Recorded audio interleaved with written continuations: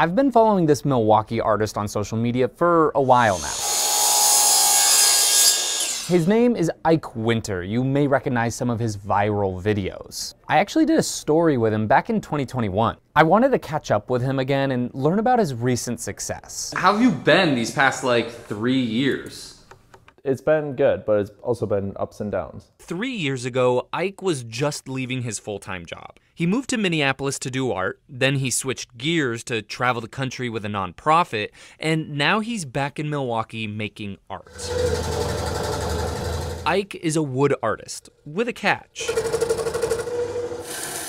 Every piece of art you see, um, I find wood out in society, whether it's in dumpsters and on the side of the road, and I use it in its natural state aside from cutting it. I actually kind of dig it now. His art has no paint, no stain, no nothing.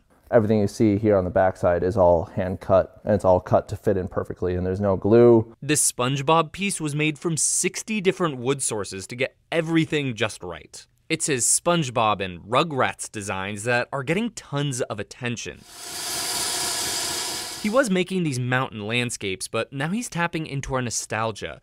Pieces like those sell for thousands of dollars. I think nostalgia is the coolest drug in the world. Fans of his also resonate with his art that raises awareness about mental health issues. The number value uh, associated with Scrabble letters, instead of them just being the normal number value, I actually changed the value to be the suicide hotline number. While his art may have changed, the core message from this self described delusional optimist has stayed the same promote positivity. And I truly have just a huge desire for putting good out to the world. And right now in my life, that's through art. He's reached millions of people with his art. He even made a custom piece for Mike Tyson, and now he hopes to make a big impact on Milwaukee. To get something eventually in the Milwaukee Art Museum, just because we have such an iconic building.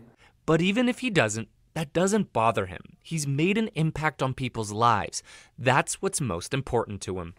In Milwaukee County, James Groh, TMJ4 News.